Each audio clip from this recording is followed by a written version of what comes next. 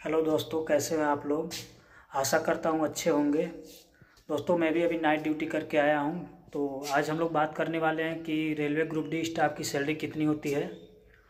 और जब मैंने 2019 में ज्वाइन किया था तो मेरी सैलरी कितनी थी और वर्तमान में तीन साल बाद मेरी सैलरी बढ़कर कितनी हो गई है। तो चलिए हम लोग बारी बारी से देखते हैं।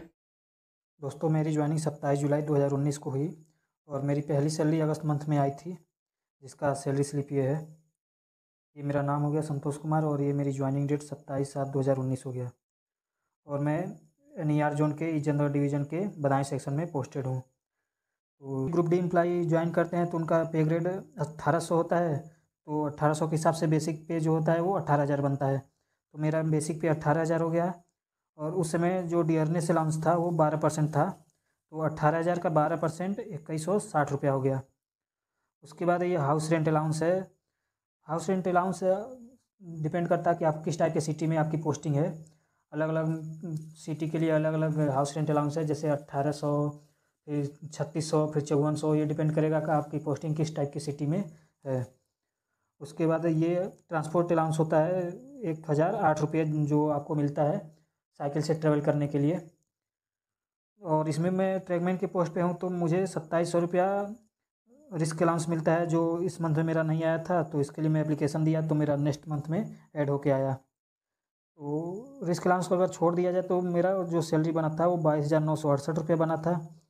और अगर तो अगर रिस्क अलाउंस को भी ऐड किया जाए तो मेरा टोटल सैलरी पच्चीस हज़ार छः सौ के समथिंग बनता। उस समय भी हम लोग का एनपीएस नहीं कटता था तो मेरा जो नेट पे बना, वो बाईस हज़ार नौ सौ उनसठ रुपया बना, क्योंकि केवल एम्प्लॉय इंश्योरेंस स्कीम में ही नौ रुपया कटता था। बाकी टोटल अकाउंट में सैलरी आ जाती थी। तो ये मेरा अगस्त मंथ की सैलरी है। इसके बाद हम, ये मेरा अक्टूबर मंथ की सैलरी है। और ये बाकी डिटेल तो मैं बता दिया हूँ आपको। इसमें मेरा बेसिक वही है अट्ठारह हज़ार रुपये। इस समय जो डी ए था वो बारह परसेंट से बढ़ के सत्रह परसेंट हो गया था। तो मेरा जो डी ए टोटल बना था वो तीन हज़ार साठ रुपये बना था। और ये अक्टूबर मंथ में लग के आया तो उसमें हमको एरियर भी मिला था चौदह सौ चालीस रुपये। उसके बाद ये हो गया हाउस रेंट अलाउंस ये ट्रांसपोर्ट अलाउंस हो गया, और इसमें देखिए मेरा रिस्क अलाउंस सत्ताईस सौ रुपया ऐड हुआ है। तो इसमें मेरा टोटल जो ग्रास से सैलरी बनी थी वो अट्ठाईस हज़ार एक सौ पच्चीस रुपये बना था। इस समय भी अभी एन पी एस नहीं करता था तो मेरा जो नेट पे बना था वो अट्ठाईस हज़ार एक सौ सोलह रुपया बना था। स्टार्टिंग में ट्रेनिंग स्कूल में नहीं कराई गई थी, केवल पंद्रह दिन का ट्रेनिंग हम लोग को अपने सेक्शन में ही कराया गया था। तो बाद में हम लोग की ट्रेनिंग नव, मिड नवंबर से मिड दिसंबर के बीच में कराई गई। उस समय हम लोग की पोस्टिंग हो गई थी और पोस्टिंग होने के बाद अगर आप रेलवे वर्क से आठ किलोमीटर से दूर जाते हैं तो आपको ट्रेवलिंग अलाउंस पर डे के हिसाब से मिल दोस्तों, ये जो ट्रेवलिंग अलाउंस मिलता है, ये पाँच सौ रुपये पर डे के हिसाब से level one, two, three, four, five के कर्मचारियों को मिलता है। यानी कि ग्रुप डी के कर्मचारी को पर डे के हिसाब से पाँच सौ रुपये ट्रेवलिंग अलाउंस के रूप में मिलता है। अर्थात यदि आप किसी काम से आठ किलोमीटर से दूर जाते हैं और आपको छः घंटे वहाँ पे काम करना पड़ता है, यानी कि अगर छः घंटे आप वहाँ रहते हैं तो आपको तीस परसेंट पाँच सौ का मिलता है। और अगर आप वहाँ पे बारह घंटे रहते हैं तो आपको सत्तर परसेंट पाँच सौ का मिलता है। यदि आपको वहाँ बारह घंटे से ज़्यादा समय लगता है तो आपको पाँच सौ का हंड्रेड परसेंट, यानी कि पाँच सौ ही मिलता है। तो ये ट्रेवलिंग अलाउंस का रूल है। तो हम लोग की जो ट्रेनिंग हुई थी वो टी ए में हुई, इसी कारण से हुई थी। तो देखिए इस, ये जनवरी ट्वेंटी ट्वेंटी में हमारा टी ए लग के आया था, जिसमें हमको तेरह हज़ार पाँच सौ रुपये टी के रूप में मिला था, जिस कारण हमारी जो ग्रास सैलरी बनी थी वो चालीस हज़ार एक सौ तेरह रुपया बनी थी। और इस समय भी हमारा अभी एन पी एस नहीं करता था तो जो मेरा नेट पे भी बना था, वो भी चालीस, वो भी चालीस हज़ार तिरासी रुपये बना था। केवल इंश्योरेंस स्कीम में तीस रुपये कटता था। तो ये हमारी ट्रेनिंग के बाद की पहली सैलरी है, जो जनवरी 2020 में मिली थी।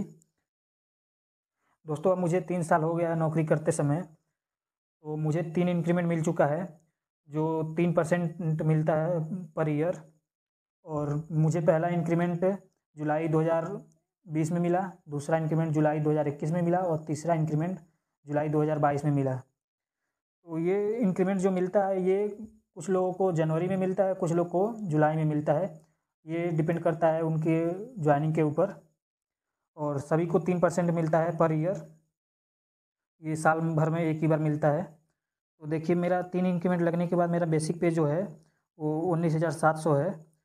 पहला इंक्रीमेंट दो, जुलाई दो हज़ार बीस में लगा था। उसमें मेरा बेसिक पे हो गया था अठारह हज़ार पाँच सौ। फिर एक साल बाद मुझे दूसरा इंक्रीमेंट जुलाई दो हज़ार इक्कीस में मिला। तो मेरा बेसिक पे हो गया वो उन्नीस हज़ार एक सौ। तथा तीसरा इंक्रीमेंट मुझे जुलाई दो हज़ार बाईस में मिला तो मेरा बेसिक पे उन्नीस हज़ार सात सौ हो गया। तो देखिए, इसमें मेरा बेसिक पे उन्नीस हज़ार सात सौ हो गया। और वर्तमान में जो डी ए है, वो बढ़ के चौंतीस परसेंट हो गया है। तो उन्नीस हज़ार सात सौ का चौंतीस परसेंट आप निकालेंगे तो छः हज़ार छः सौ अंठानवे रुपया हो जाता है। तो ये मेरा डी ए हो गया। उसके बाद हाउस रेंट अलाउंस सेम है। उसके बाद अब वर्तमान में मैं गेट कीपर हो गया हूँ तो मुझे स्पेशल गेट कीपर का एक हज़ार रुपये मिलता है, प्लस इसमें इक्कीस सौ कुछ रुपये मेरा नाइट अलाउंस बनता है। तो अगर आप गेटमैन बन जाते हैं तो आपको, आपकी सैलरी जो है तीन हज़ार के आसपास बढ़ जाती है। हालाँकि इस सैलरी स्लिप में मुझे नाइट अलाउंस नहीं मिला है, क्योंकि नाइट अलाउंस पर मंथ नहीं दिया जाता है। दो महीने, तीन महीने का जब कलेक्ट हो जाता है तो एक ही बार दे दिया जाता है। तो इस सैलरी स्लिप में मुझे नाइट अलाउंस नहीं दिया गया है। और बाकी हर हर ईयर जुलाई मंथ में आपको पाँच हज़ार रुपये ड्रेस अलाउंस के रूप में मिलता है। तो ये मुझे ड्रेस अलाउंस का पाँच हज़ार रुपये मिला है। तो मेरा जो टोटल बना है सैलरी अड़तीस हज़ार दो सौ चौवन रुपये। अगर मेरा नाइट इसमें ऐड होता है तो समथिंग चालीस हज़ार से के आसपास मेरी सैलरी बनती है।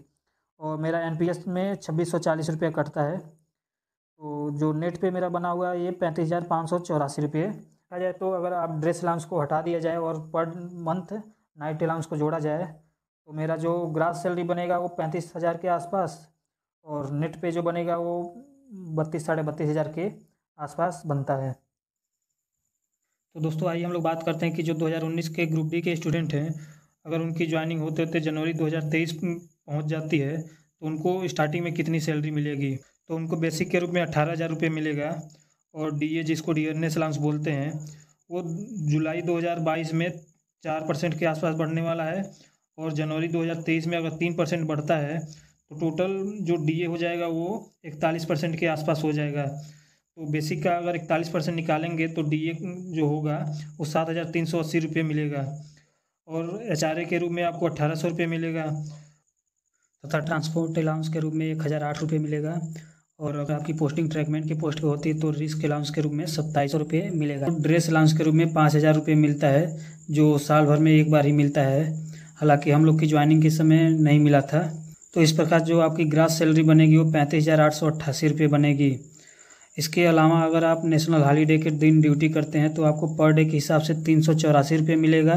और यदि आप आठ किलोमीटर से दूर बाहर ड्यूटी करने जाते हैं तो आपको ट्रेवलिंग अलाउंस भी मिलता है। तो इस प्रकार दोस्तों ग्रुप डी की सैलरी काफ़ी अच्छी है। दोस्तों, मेरा वीडियो बनाने का मेन मकसद ये था कि सैलरी देख के जो नए ग्रुप डी के स्टूडेंट हैं, वो मोटिवेट हो सकें और अपनी तैयारी बेहतर तरीके से और जी जान से करें। तो चलिए, अगर वीडियो अच्छी लगे तो प्लीज़ लाइक करिएगा। तो चैनल को सब्सक्राइब कर लीजिएगा तथा अपने दोस्तों को भी शेयर कर दीजिएगा। चलिए, बाद में मिलते हैं। धन्यवाद।